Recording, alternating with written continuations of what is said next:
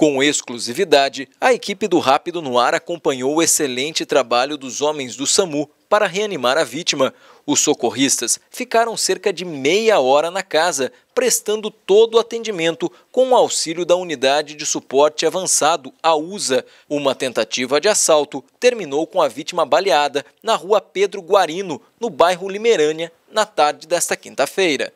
Ah, é um cenário triste, a gente vê a pessoa a esposa da, da, vítima chorando, a vítima ao solo. A USA já estava no local prestando atendimento, já estava fazendo o socorro, fez todo o seu trabalho aqui com o apoio de alguns militares e vai dar prosseguimento nesse atendimento pela Santa Casa. Segundo as informações, dois assaltantes em uma motocicleta renderam a esposa da vítima.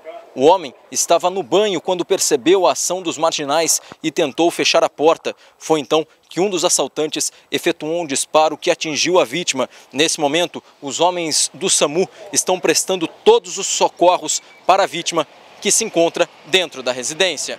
Conforme relato da, da esposa da, da vítima que foi alvejada, ela chegava em sua residência quando dois indivíduos em uma motocicleta entraram antes que o portão fechasse e a renderam.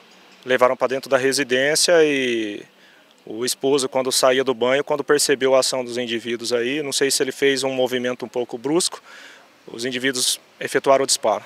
Após balear o dono da casa, os ladrões fugiram sem roubar nada.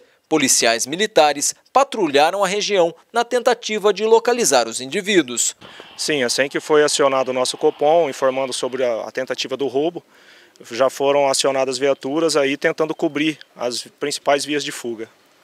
O homem foi levado pela viatura do SAMU em estado grave para o pronto-socorro da Santa Casa. Sempre de olho no que acontece em Limeira, Lucas Claro para o Rápido no Ar.